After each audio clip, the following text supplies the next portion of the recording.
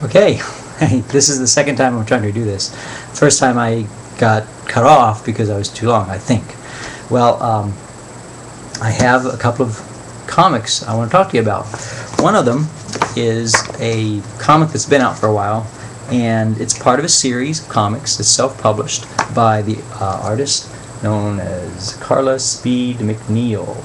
The comic is Finder Talisman, and it's uh, Carla Speed McNeil's books are, are really fantastic. She has created her own world, uh, own uh, universe with a backstory and with complicated society structures and and it's it's a beautiful beautiful series of books. But uh, this one, I got this one. Um, because it uh, has it's it's kind of like a side story within the universe that she's created. It's a world where people are. Um, you know, there's different clans of, of people, different uh, clans of, of they're almost like races, and they different they have different different parts to play in the society. There's there's a warrior clan, there's a you know wealthy clan, and there's all these different people. And then, then there's native a native clans, and then there's like then there's like humanoid animals that are part of the the whole mix that live in this world, and it's a very very cool mix. But this is this is actually a, a, a book that has some really nice. Uh, really terrific artwork. I'm going to try to find a good page this to kind of show you some some uh, good things going on here.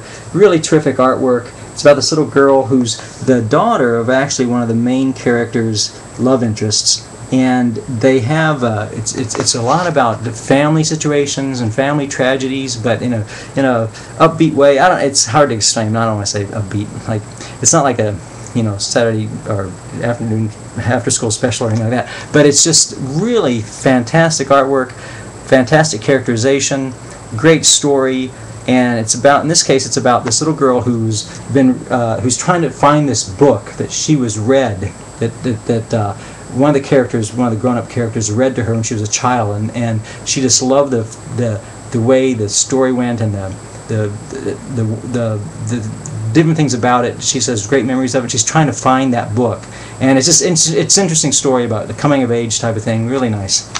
Another book that I that I enjoy is um, uh, just as actually it was it's almost like a I don't know if you call this it's a, it's not a main work it's by a guy named uh, Craig Thompson who's been out for a while. He's put out some very uh, well acclaimed books like Blankets and Goodbye Chunky Rice and and other things. But this is a book that I I love this type of thing. It's called uh, Carnet du Voyage. Carnet de Voyage.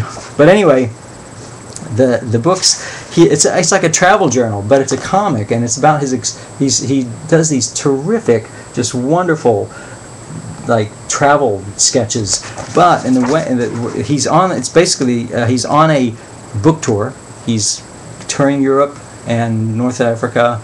Um, going on the radio and signing books and all that but he talks about his the, the people that he meets the people he sees the the um, um, adventures he has because he, he, he meets different people he has different interactions and he he um, he has this he gets sick. There's this one little character he uses talking about how sick he gets uh, you know while he's there. And he has he, he sees he sees incredible things. He goes from Spain to France to Belgium to Morocco or I think that's I don't know exactly. I can't remember if he went to Morocco or not but you know North Africa. He meets these people and gets these friends and he does sketches of them. And and it's I don't I just love this type of thing because I like I like the idea of of maybe being able to taking taking a map and following where he went and and uh, to me it's really fun. He's a fantastic artist, and I'm looking forward to when he comes out with this new uh, new comic that he's been working on. I don't know what the why it's uh, taking him so long, but he's been working on it for a while.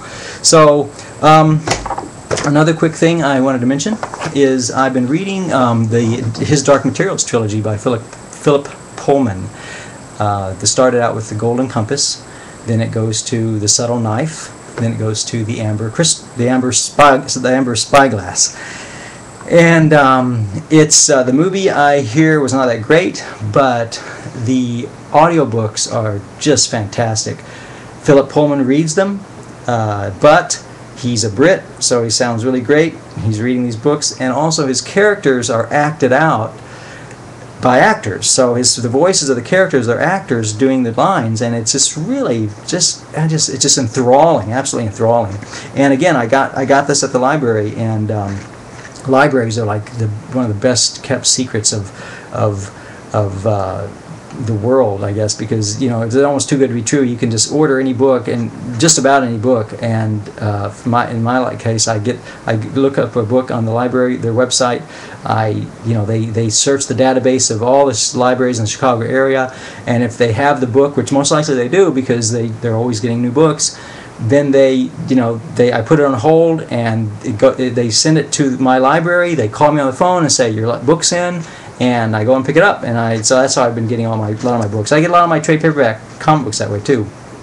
The ones I have here, though, I, I have my own library. So um, anyway, well, thanks for listening, and and by the way, um, I did this T-shirt. This is one of my uh, my little characters. His name's Jolly, and he's kind of jolly, kind of happy, and uh, he's kind of like a variation of the happy face, the smiley face. So um, I might, uh, if if you want to know where to get a T-shirt like this, I, don't know what you'd want to know. I don't know, but in case, uh, comment and let me know, and I'll show you how to get one. So anyway, thanks for listening, and I'll talk to you later.